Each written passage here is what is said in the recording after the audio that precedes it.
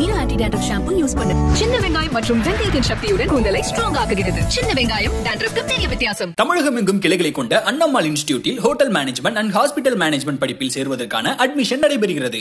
அண்ணம்மாள்னாவே மன திருப்தி தான் ஜி ஸ்டுடியோஸ் மற்றும் ட்ரம்ஸ்டிக்ஸ் ப்ரொடக்ஷன்ஸ் வழங்கும் முத்தையா இயக்கத்தில் ஆர்யா நடிக்கும் காதர் பாட்ஷா என்ற முத்துராமலிங்கம் வரும் ஜூன் இரண்டு முதல் திரையரங்குகளில். ஒடிசா ரயில் விபத்து இந்திய ரயில்வே விபத்துகளில் மிகப்பெரிய விபத்துகளில் ஒன்றாக பார்க்கப்படுகிறது. ஒடிசாவில் ஏற்பட்ட ரயில் விபத்தில் இருநூற்றி தொன்னூற்றி நான்கு பேர் பலியானதாக தகவல்கள் தெரிவிக்கின்றன.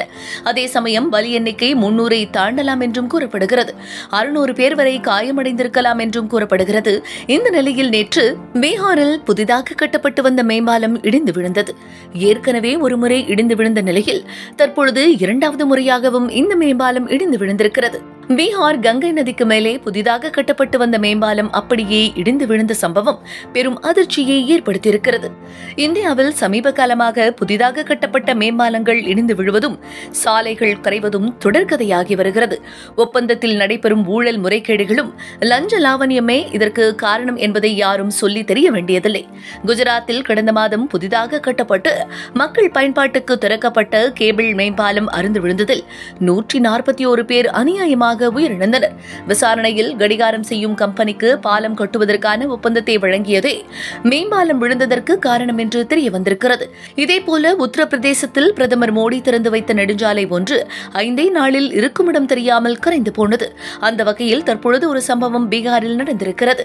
பீகார் மாநிலம் பாகல்பூரில் உள்ள இரண்டு மாவட்டங்களையும் இணைக்கும் வகையில் சுமார் ஆயிரத்தி எழுநூற்றி பத்து கோடி செலவில் கங்கை ஆற்றின் மேலே பிரம்மாண்டமான மேம்பாலம் கட்டப்பட்டு வந்தது. மக்கள் பயன்பாட்டிற்கு திறக்கப்படவிருந்த சூழலில் சில மாதங்களுக்கு முன்பு இந்த மேம்பாலத்தின் ஒரு பகுதி இடிந்து விழுந்தது. இது பெரும் பரபரப்பை ஏற்படுத்திய நிலையில் மீண்டும் பாலத்தை புதுப்பித்து கட்டுமான பணிகள் மேற்கொள்ளப்பட்டு வந்தன. இந்த நிலையில் மாலை ஆறு மணி அளவில் இந்த பாலம் அப்படியே கங்கை ஆற்றில் இடிந்து விழுந்தது.